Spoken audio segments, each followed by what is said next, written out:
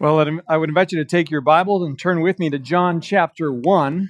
John chapter 1 for our message this morning entitled The Star Witness Testimony.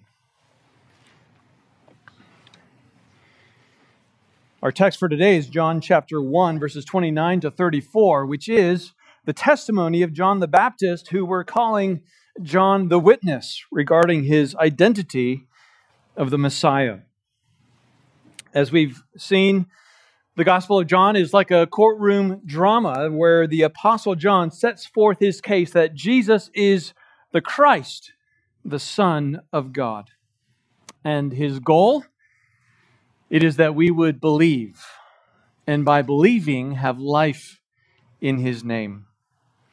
Now, John doesn't tell us this until chapter 20, verses 31 to 30 and 31, but having said this or having understood this, it helps us understand the underlying purpose behind everything that he writes throughout the whole gospel. And so last week we saw that after his opening arguments of verses 1 to 18 of chapter 1, John begins his gospel proper by calling to the stand John the Baptist, who is the star witness of his case. There will be other witnesses throughout this gospel, as we'll see. There will be much evidence put forth but none is so prominent, none so articulate, none so significant as John. John the witness is the last of God's prophets before the coming of Jesus.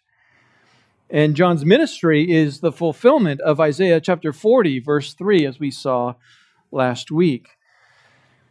And our text today tells us that the identity of the Christ was revealed by uh, to John by God himself. So John didn't come to his conclusions based on his own opinion, based on his own perspective or his life experience. No, he, he came to his understanding of who Jesus is because he was a prophet sent from God and God himself revealed to John the truth about Jesus. In our last day in court, if you will, we heard uh, in verses 29 or 19 to 28 the identity and the credibility of this star witness, John. That's how all witnesses start on the stand. They are asked to identify themselves and to explain what's their relationship with the defendant in some cases or what's the relevance of their testimony in other cases. Uh, John is like a combination between an eyewitness and an expert witness because his very mission from God is to reveal the identity of the Messiah to the world. That's, that's his vocation, that's his expertise. And his humility in doing so, and doing nothing but pointing Jesus to the Messiah and away from himself, is what makes his expert witness credible. But he's not just an independent expert who gives his opinion on matters in general. His testimony is based on what he saw with his own eyes. And there is perhaps no stronger testimony than an expert eyewitness. Now, as the court begins its second day of testimony, John gives us four truths about Jesus that confirm that Jesus is the Christ, the Son of God. And the necessary result of this testimony, my friends, is that you and I would believe in Jesus. That, that call to believe in Jesus is certainly directly made to you whoever you are who have not yet believed in Jesus, who've not yet trusted in Him for the forgiveness of your sins. But it also comes to us who have already come here this morning believing in Jesus. We'll see that as we close. Well, let's read the passage and then we'll dig into John's testimony. Follow along as I read verses 29 to 34. The next day, he, that is John the Baptist, saw Jesus coming toward him and said, Behold, the Lamb of God who takes away the sin of the world. This is he of whom I said, After me comes a man who ranks before me because he was before me. I myself did not know him, but for this purpose I came baptizing with water, that he might be revealed to Israel. And John bore witness, or he testified I saw the Spirit descend from heaven like a dove, and it remained on him. I myself did not know him, but he who sent me to baptize with water said to me, He on whom you see the Spirit descend and remain, this is he who baptizes with the Holy Spirit. And I have seen and have borne witness that this is the Son of God. With the opening words of this passage, the next day, we're given a timestamp that puts John's testimony in the context of other events. Rather obviously, this would mean that this text, this the events of this uh, of this passage happened the day after the event of verses 29, 19 to 28, where John gave answers. He responded to the questions of religious leaders from Jerusalem. But to, to, take note of the fact that not only in verse 29 does he say the next day, but in verse 35, it also begins the next day. And then in verse 43, it says again, the next day. And then chapter 2, verse 1 opens on the third day. This tells us that chapter 1, verses 19, all the way through chapter 2, verse 12, covers roughly a week's span of time, perhaps about eight days. Uh, the Apostle John doesn't tell us where this particular week falls in the timeline of Jesus' life and ministry because that's not pertinent to his case, but it certainly raises our curiosity, especially since we have all four Gospels of the account of the life of Christ. Well, what we read here in verses 29 to 34 is not the occasion of the baptism of Jesus. This is not the first time that John the Witness has had an encounter with Jesus.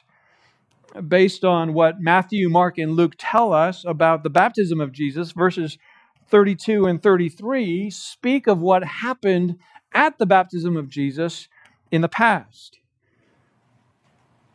Well, so if, if this isn't the baptism of Jesus, when does, did Jesus get baptized? When did John, as he says, as it says in verse 29, when did John see Jesus coming to him? What's the relationship between those two events? Well, as you think about what the Gospels tell us in Matthew chapter 3 and in Luke chapter uh, 3, we are told that after Jesus was baptized, the Spirit led him off into the wilderness. And there he was in the wilderness for 40 days, fasting, preparing himself for the ministry that God had entrusted to him.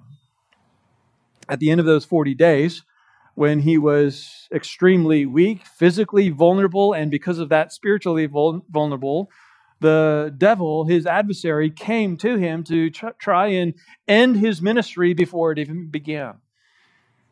Well, after successfully resisting that temptation, Jesus was so weak, scripture says, that angels had to come and minister to him. And I take that to mean that they came to feed him and help him regain his strength.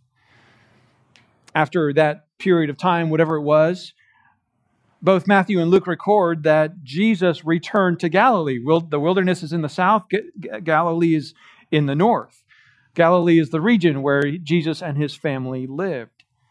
And so, if you piece together the four Gospels, in the first few weeks of Jesus' time in Galilee, Jesus calls his disciples. We'll start to see that next week. He and his family and his disciples attend a wedding in Cana, which is also in Galilee. And then Jesus moves his family from Nazareth, which is about in the middle between the Mediterranean Sea and the Sea of Galilee, to Capernaum, which is on the Sea of Galilee. All of those things take place in the, the first few weeks uh, of Jesus' ministry. The events then that we read here in John 1 occur as Jesus is traveling from the wilderness where he had been tempted by the devil, and as he makes his way back up to the north uh, to Galilee. He stops along the way, as it were, to, to see John and to have himself be revealed publicly by the apostle or by the uh, by John the Baptist. So by that point, it had been well over a month since John the Baptist had seen Jesus, at least 40 days, perhaps even several months, depending on how long it took Jesus to regain his strength after fasting in the wilderness. As you look at verse 29, all of our Bibles put the verbs in the past tense, but in the Greek, they're actually in the present tense, and that's intended to, to give a, a vivid portrayal. It's, it's as if John the Apostle says to John the Baptist on the witness stand, Now, John, take us back to that day and tell us what you saw. And it's as if John were to say, I see Jesus coming toward me, and I say, Behold. The word behold here is simply an exclamation to alert the listener. And a speaker would not just say, Behold, but they would point in the direction of what they are wanting to direct the attention to. Uh, this word is used many times and it's often translated, Look, see. In fact, in chapter 3, verse 26, John the Baptist and his disciples are on one side of the Jordan, and Jesus and his disciples are on the other side of the Jordan. And his disciples, or John's disciples, say, Look, he whom you baptized is baptizing others, and all are going to him. Well, in our text, when John sees Jesus coming to him, he, he points to him and says, Behold, look. And then he gives his testimony. His testimony, given in our text, is four truths about Jesus that confirm that Jesus is the Christ, the Son of God. Consider the first truth. The first truth that John proclaims is that Jesus is the Lamb of God. Look again at verse 29. Behold, the Lamb of God who takes away the sin of the world. It's hard for us to appreciate the significance of this language because it's so familiar to us. But I, I want you to try to appreciate its significance from John's perspective and the people around him. This is at the beginning of Jesus' ministry. Jesus has done no miracles. Jesus has not taught anything to anyone. He hasn't preached any sermons. No one knows who Jesus is. And as Jesus is walking along the Jordan amidst the perhaps thousands, if not hundreds, if not thousands of people who are going to hear John preach and be baptized by John, there was nothing about Jesus that made him stand out in the crowd. As far as anyone knew, Jesus was just another man along the way going to hear John preach and be baptized by him. And so, for John, who everyone knew rightly to be a prophet, for John to, to point to someone in the crowd and say, Behold, the Lamb of God who takes away the sin of the world, this is a shocking declaration. It's one of those moments that's seared into the mind of those who heard it. And in the years to come, they would share the story with their friends and family of, I was there that day when John made the first declaration about the Messiah. In the moment, though, the people were probably confused. What does he mean, Lamb of God? What does it mean that he takes away the sin of the world? What is he talking about? You see, this is not language that comes immediately and directly from the Old Testament, at least in terms of the quotation of it. Uh, they had never heard their rabbis say anything to them about some coming Lamb of God. And the idea of taking away the sin of the world was not something that they were familiar with from their teaching of the Old Testament. So, where did John get this language? What is he talking about? Well, again, John is a prophet. He received direct revelation from God. So in this declaration, John is not merely rehearsing or repeating what the Old Testament says. As a prophet, he is speaking a word from God. And the Lord revealed something through John that they were not expecting. But as is the case with all new revelation from God, it's completely consistent with what God had already revealed in Scripture. And so, to understand where, what John means here, we have to start with the fact that lambs were one of the most common animal used for sacrifice. We're familiar with that. And that goes back well over 2,000 years from John's perspective. You remember that in Genesis 22, when Abraham and Isaac were making their way to the mountain where Isaac was commanded to sacrifice, uh, where Abraham was commanded to sacrifice Isaac, as they were getting close, Isaac made this observation. He said, Behold, the fire and the wood, but where is the lamb for the burnt offering? Do you remember Abraham's response? He said, God will provide for himself a lamb for the burnt offering, my son. Well, in that moment, Abraham was not prophesying about the coming Messiah. He was himself trusting the Lord in that moment for that particular situation. But, but he does pluck the scarlet thread that runs throughout Scripture about God's redemptive plan to save his people from their sin. Another time that that scarlet thread is plucked is in Exodus chapter 12, just before the Lord redeems his people out of Egypt. Before that final plague, the Lord gives this instruction to Moses Tell all of the congregation of Israel that on the tenth day of this month, every man shall take a lamb according to their father's houses, a, a lamb for a household, and you shall keep it until the fourteenth day of this month, when the whole assembly of the congregation of Israel shall kill their lambs at twilight. Then they shall take some of the blood and put it on the two doorposts and on the lintel of the house in which they eat it. The, the blood shall be a sign for you on the houses where you are, and when I see the blood, I will pass over you, and no plague will befall you to destroy you when I strike the land of Egypt. Now, in many places, the Bible draws a direct connection between God's redemption of his people out of Egypt and God's redemption of his people from sin. And we even have sitting before us an example of that connection. The sacrificial lamb at Passover is the central element because it's what prevents the people of God from receiving the same condemnation and judgment that the Egyptians received. Well, there are many passages throughout the Old Testament that would direct us in the attention of, uh, in the direction of a sacrifice, but for the sake of time, I want to take you just to one more, and that is Isaiah 53. And in fact, I would encourage you to put your finger here and turn over with me to Isaiah 53. I know it's familiar, but this is a good uh, meditation to consider, especially as we prepare our hearts for the Lord's Supper. Isaiah 53, of course, is the great chapter which ought to have given the people of Israel the expectation that the Messiah would be put to death and pay the, the penalty of sin. And this passage, though we think of Isaiah 53 as a chapter, it really begins in chapter 52, verse 13. Look there, it says, Behold, my servant shall act wisely. He shall be high and lifted up and shall be exalted. That's how it begins.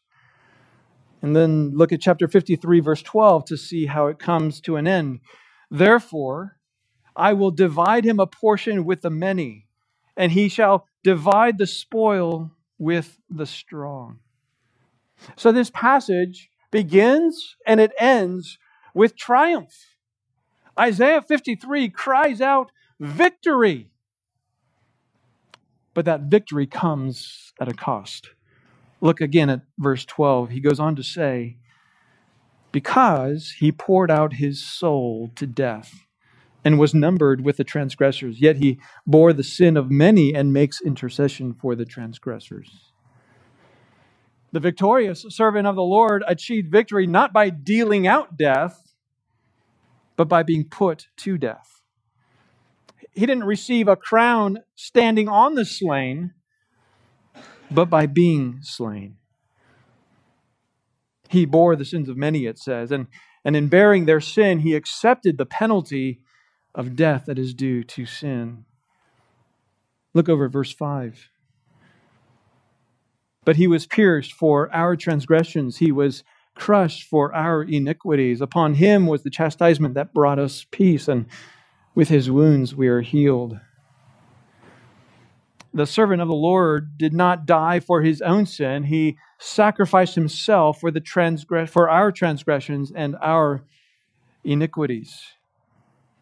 And then we see the, the language of sacrifice in verse 10, where it says, Yet it was the will of the Lord to crush him. He has put him to grief when his soul makes an offering for guilt. The Mosaic Law has many kinds of offerings and sacrifices for different reasons. And there are different animals prescribed for different occasions depending on what the Lord chose to prescribe. But bulls, goats, rams, lambs, turtle doves, and pigeons are the most common animals that are prescribed. What kind of animal sacrifice was the servant of the Lord? Well, the closest we get to an answer is in verse 7. It says, He was oppressed and he was afflicted, yet he opened not his mouth. Like a lamb that is led to the slaughter, And like a sheep that is that before its shears is silent, so he opened not his mouth. Now be careful with the language here. Isaiah is not saying that the servant of the Lord is a lamb. He's saying that he is like a lamb in the silence with which he took his death. That's about as close as the Old Testament gets to describing the coming deliverer as the Lamb of God. But the second part of John's statement there in John 1, who the Lamb of God who takes away the sin of the world, that's much clearer in this passage of Scripture. Look again at verse 5. He says, But he was pierced for our transgressions, he was crushed for our iniquities. Verse 6, second half of verse 6, and the Lord has laid on him the iniquity of us all. Then the end of verse 8, he was cut out of the land of the living, stricken for the transgression of my people. Again, verse 12, he bore the sin of many. Those are all ways of expressing the fact that in, the, the servant of the Lord, the, the coming deliverer, takes upon himself the sins of others. And in taking their sin from them, there is no longer any sin on them. And do you know, do you know what you call someone who has no sin? Righteous. Look at verse 11. Out of the anguish of his soul he shall see and be satisfied. By his knowledge shall the righteous one, my servant, make many to be accounted righteous, and he shall bear their iniquities. If I can throw a New Testament passage here, this is the same truth as 2 Corinthians 5:12 where it says, "For our sake he made him who knew no sin to be sin, so that in him we might become the righteousness of God." The righteous, which is to say the sinless one, the righteous servant of the Lord, bore the iniquity of many so that the many could become righteous. He, he takes their sin upon himself such that, the, such that God can declare them to be righteous.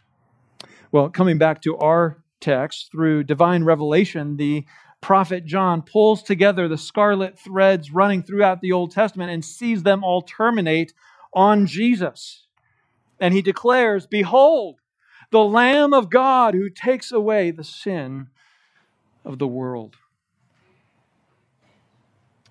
Maybe you're wondering about that last part. He takes away the sin of the world. Does, does that mean that everyone becomes righteous? No, the, the word world is here used categorically, not exhaustively. It means to refer to mankind without distinction, not mankind without exception. I think a helpful passage to understand this principle is 1 John 4 14, where it says, We have seen and testify that the Father has sent his Son to be the Savior of the world. And what the Apostle John means there is that the, Jesus is the only Savior that the world has, not that he is the Savior of every person in the world.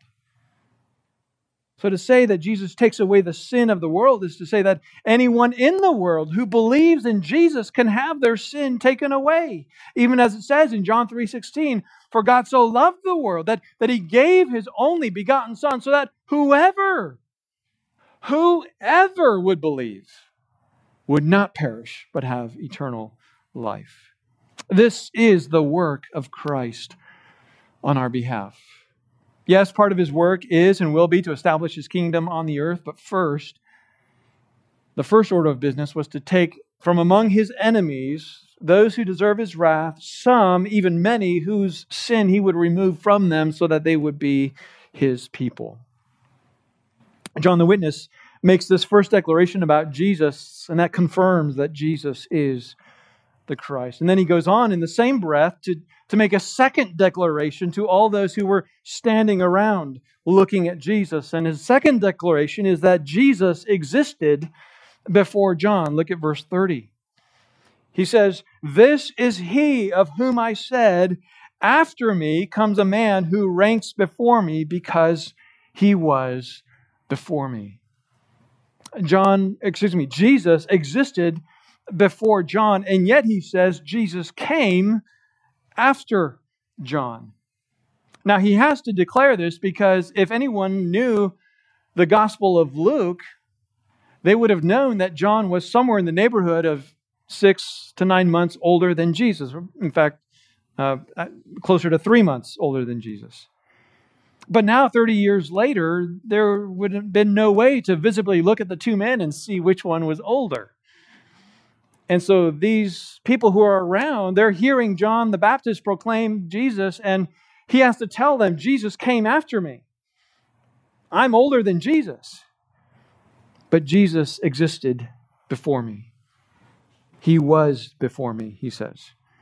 Now, I touched on this when we looked at verses 14 to 18 because uh, this statement is quoted also in verse 15. And the context there, remember, is that uh, John the Apostle is making the connection that Jesus is the very God of Exodus 34, who revealed himself as the God of steadfast love and faithfulness, which John refers to as grace and truth. And, and he's declaring that Jesus is God. He pre existed John the Baptist. And, and here, following up the declaration that Jesus is the Lamb of God, John the Baptist declares that Jesus is not one whom God created to come and be the final sacrifice, but rather Jesus existed before he was born.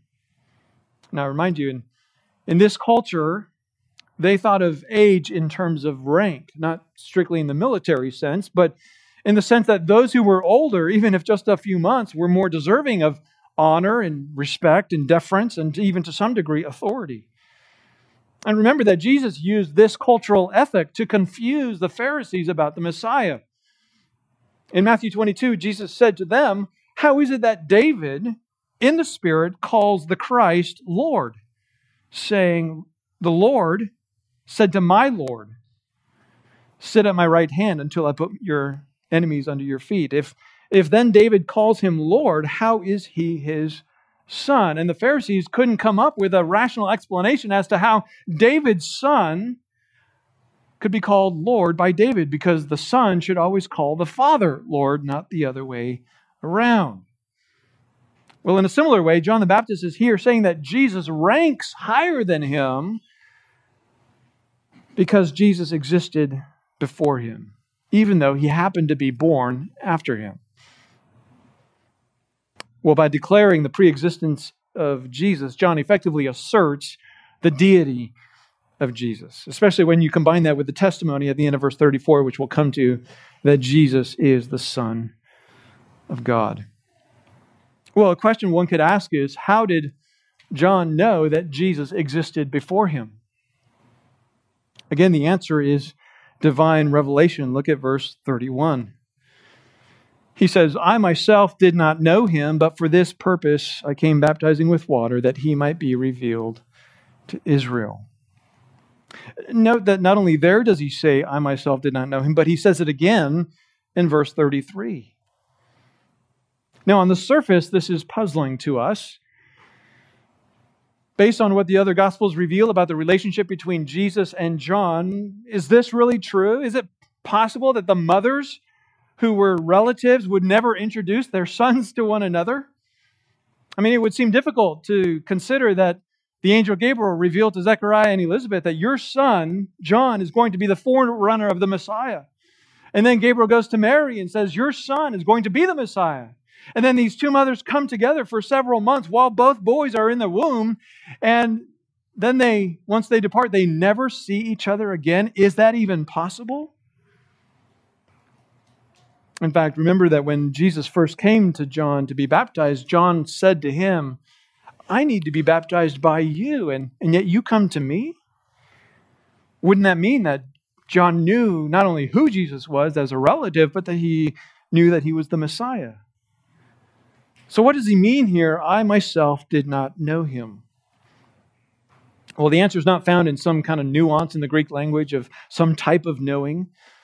Now, the answer is found in the larger theme in the Gospel of John that I haven't touched on yet because it, it hasn't come up, and I'll only address it for a moment, and then we'll continue to consider it as we move through the Gospel. In this Gospel, the Apostle John gives significant attention to the idea of knowing Christ. What does it mean to know Christ. This begins all the way back in verse 10 of chapter 1 when he says that the world did not know him. And then it comes up again when John says in verse 26, as he speaks to the religious leaders, There's one among you whom you do not know.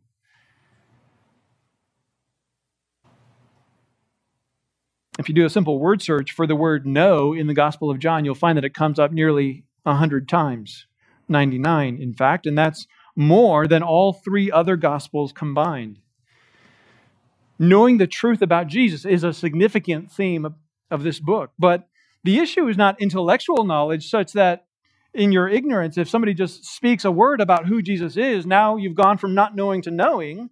Rather, the issue the Apostle John emphasizes throughout the book is that one has received or must receive divine revelation.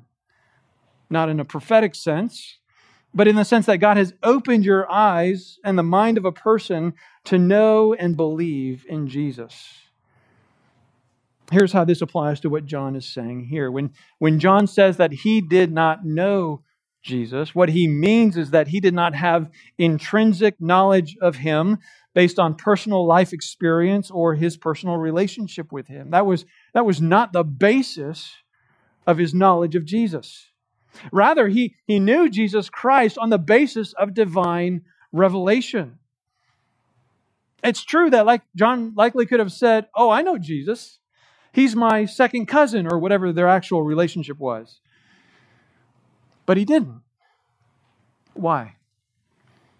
because he didn't want his testimony of the Messiah to be based on personal, subjective opinion.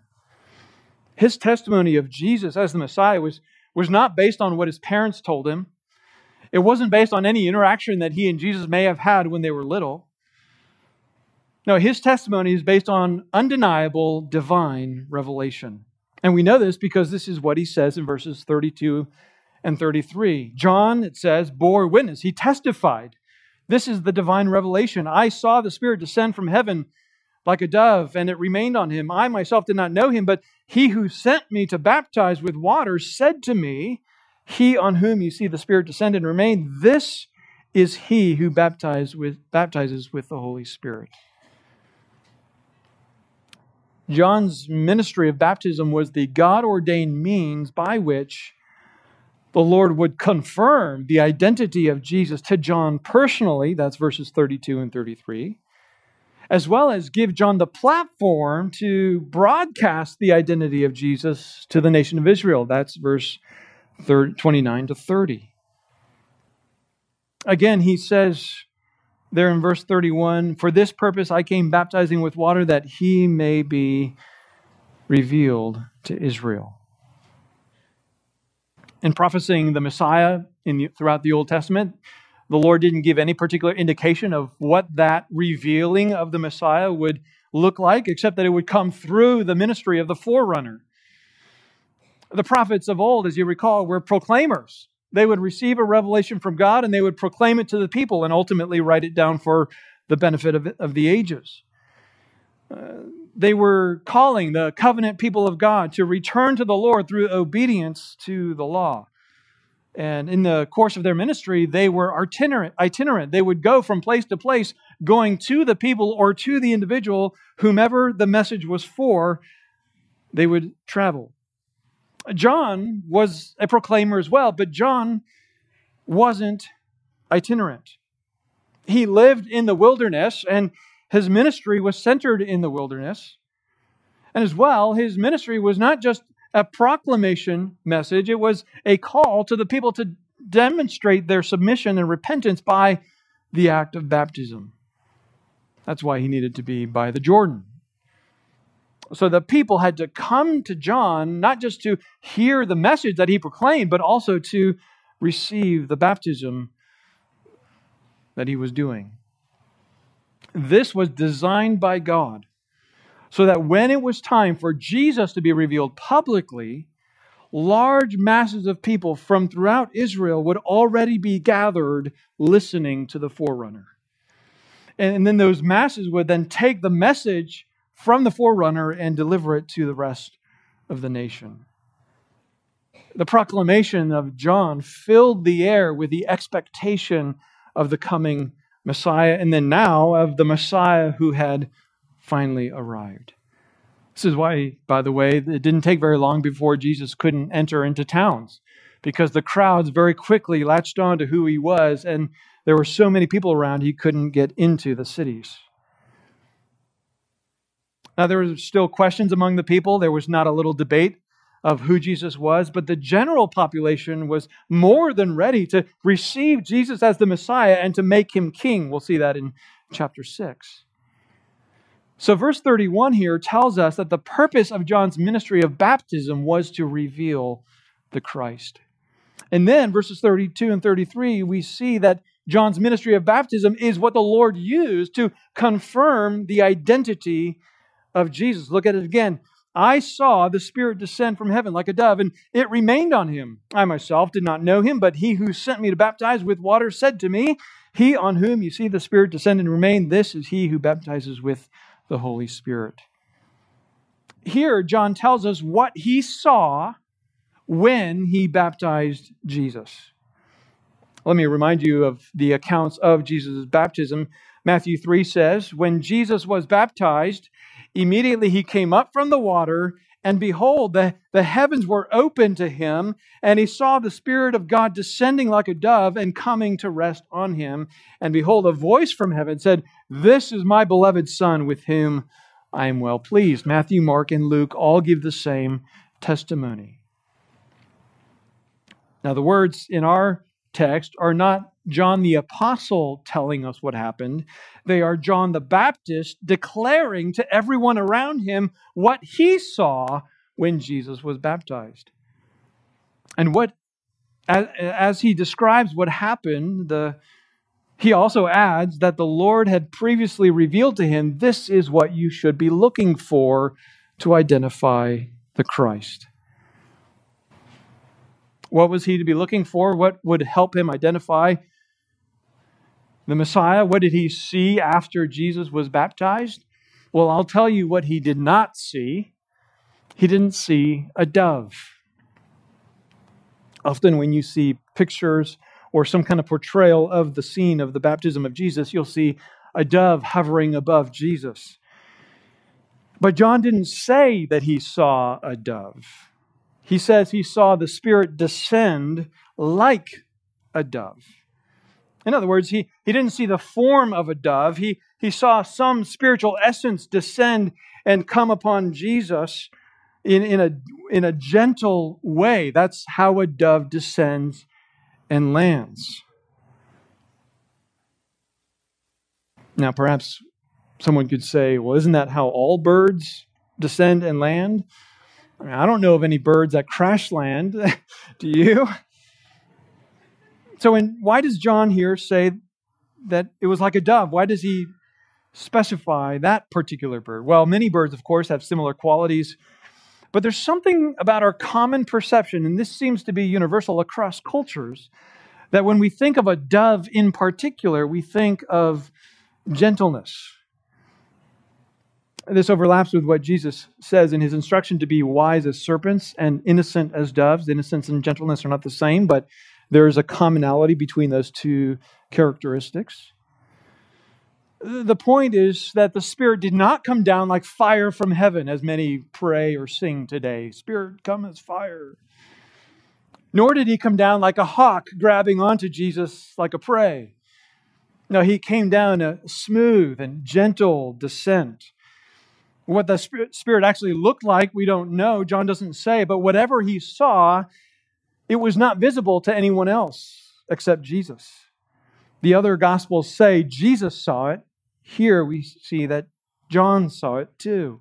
Like, like Balaam's donkey, who saw the angel in front of him, and it was only him who saw it until the Lord opened Balaam's eyes to see the angel. Or like Elisha, who saw armies of angels surrounding him until he prayed for his servant to also see those armies of angels. Here, with God enabled vision, John saw the Spirit descend, and no one else had this vision. This is what the Lord told him to be looking for, and this is what he saw when Jesus came out of the water. Well, as he recounts what he saw, he tells us, he adds a third truth about Jesus that Jesus is the Lamb of God, first, he says, and then he testifies that Jesus existed before him. Third, he says that Jesus baptizes with the Holy Spirit. Jesus baptizes with the Holy Spirit. Did you notice at the end of verse 33? This is he who baptizes with the Holy Spirit. Now, that's revelation he received from God, but he's now declaring that to the people around him.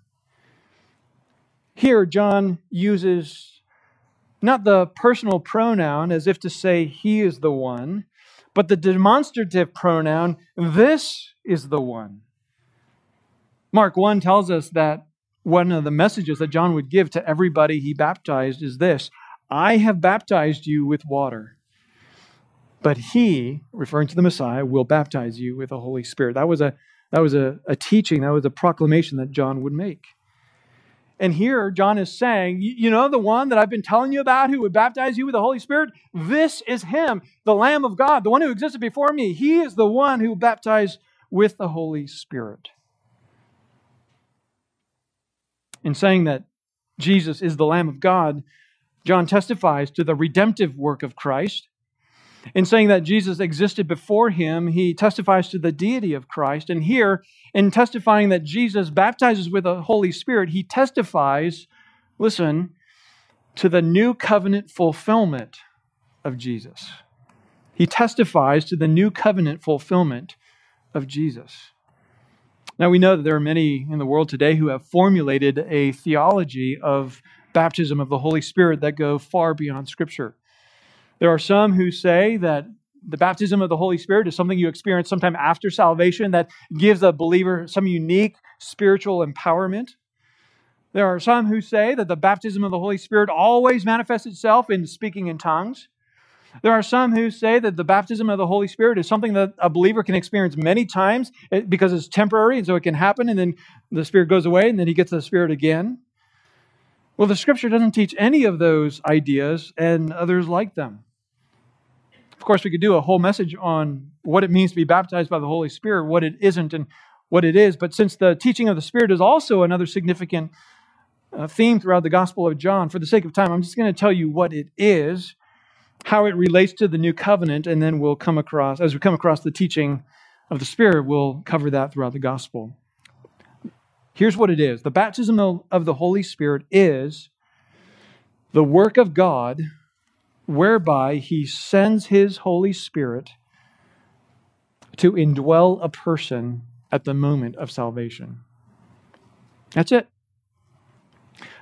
The baptism of the Holy Spirit is the work of God whereby he sends his Holy Spirit to indwell a person at the moment of salvation. To baptize means to immerse. And when the Holy Spirit takes up residence in a person's life, that indwelling is not limited to a, a closet or a room or a floor of the house. No, his presence permeates the, the entire life. But listen, the Holy Spirit is not a substance such that through the use of spiritual gifts or power or sin or some other means that the Spirit can be depleted in a person's life, and therefore they need to be refilled and rebaptized. No, rather, the, the Spirit is a person.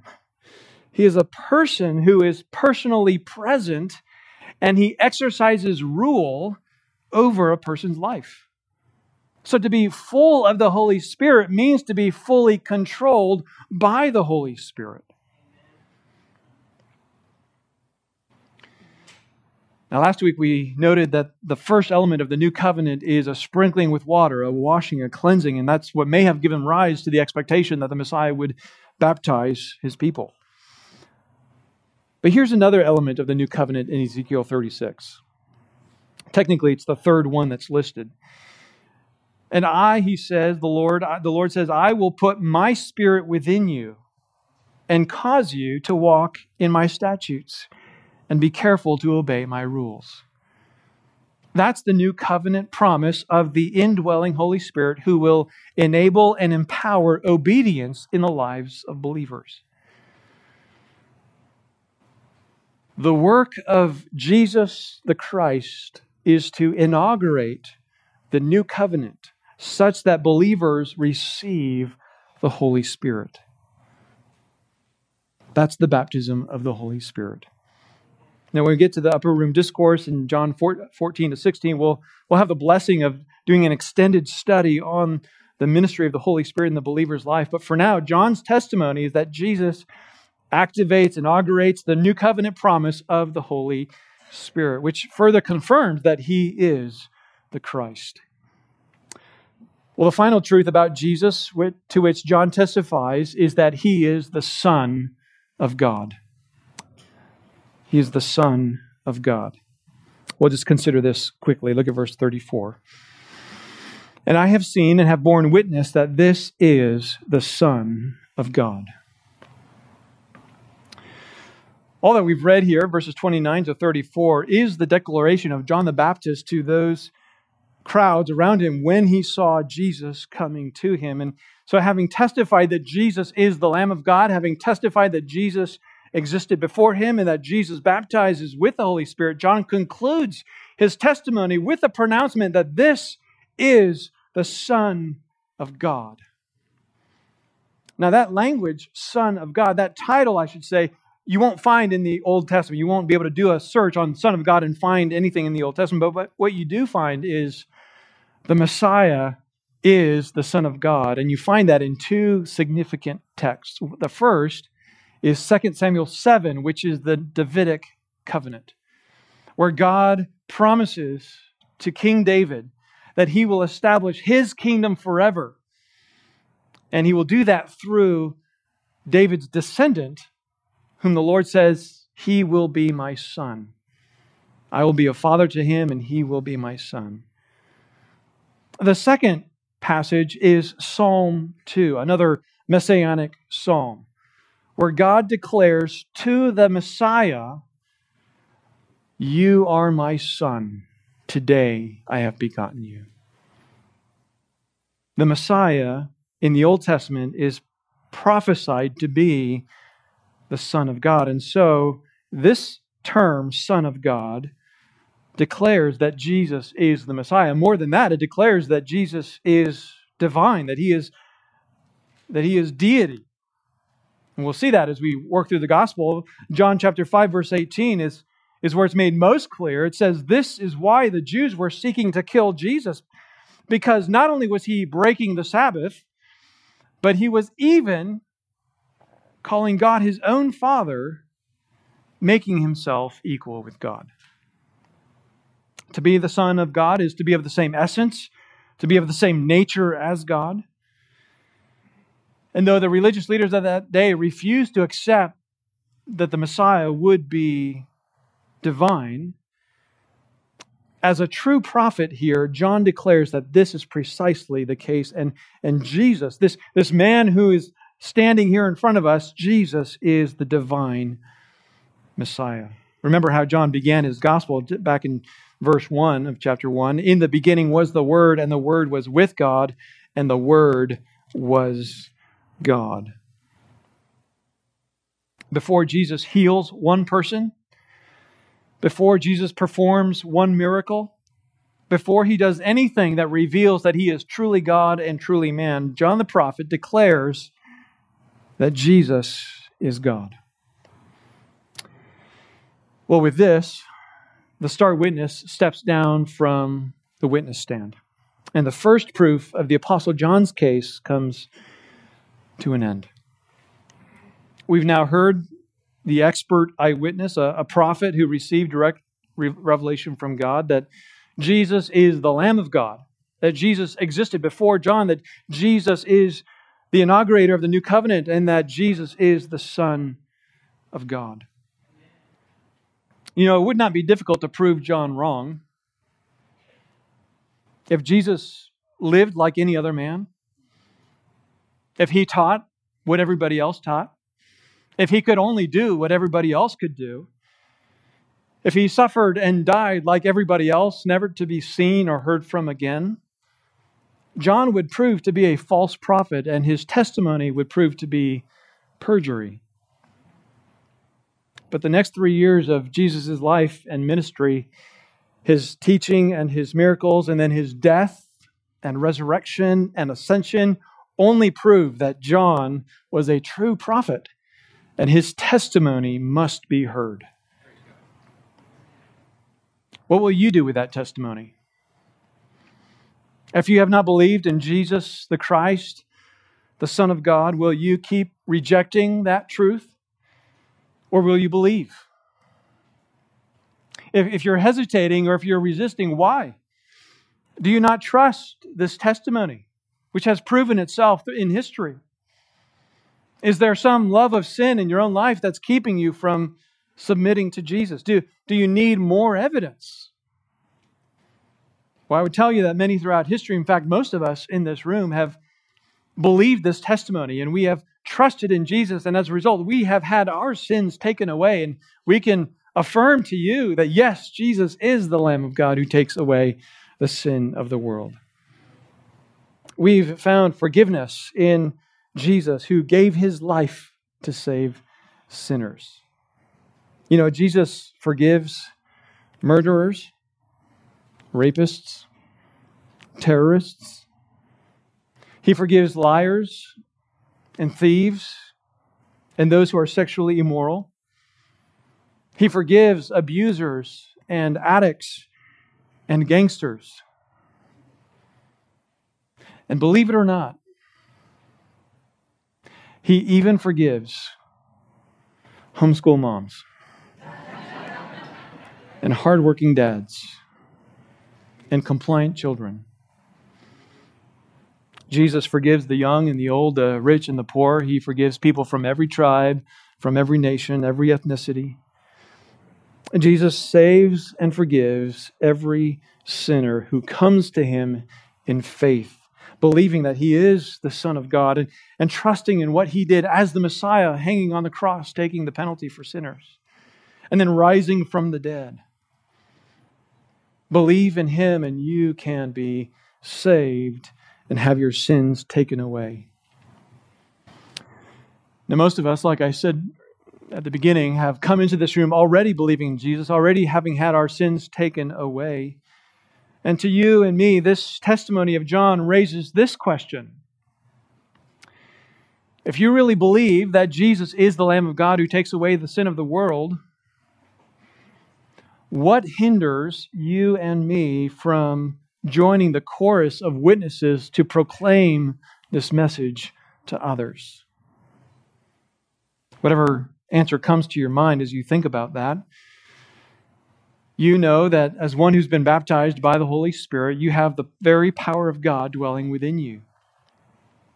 And you have the Word of God in your hands. So there's nothing we lack except perhaps the boldness of John the Baptist. But you know what made John bold? It's just this he believed that Jesus was the Lamb of God who takes away the sin of the world. There's no greater news. There's no more important news. There's, there's nothing more loving than to clearly and faithfully tell a sinner, you can have your sins taken away. You can be forgiven. Because of what Jesus has done for us, let us join that great cloud of witnesses and have the boldness and be unashamed to speak of our Lord Jesus Christ to those who are lost in this world. Let's pray. Our Heavenly Father, we thank you for this faithful testimony of this faithful prophet. We thank you that you spoke through him, that you revealed the truth to him, and that testimony now comes to us. Lord, I pray that if there would be any among us who would need Christ still in their lives, that you would open their eyes that you would grant them the knowledge of Christ, that they would see their sin, and that they would trust in Jesus as the forgiver of sin. And as well, Lord, I pray that you would help us, each one of us individually, and then all of us together as Hope Bible Church, to be a church that faithfully proclaims the gospel of Christ to a lost and dying world. Lord, help us not to shrink back not to be afraid, Help us to be bold. Help us to be wise. Help us to be creative. Help us to be faithful witnesses for Christ so that we might see more sinners saved and added to the chorus of those who proclaim your greatness. We ask these things in Christ's name and for his sake. Amen.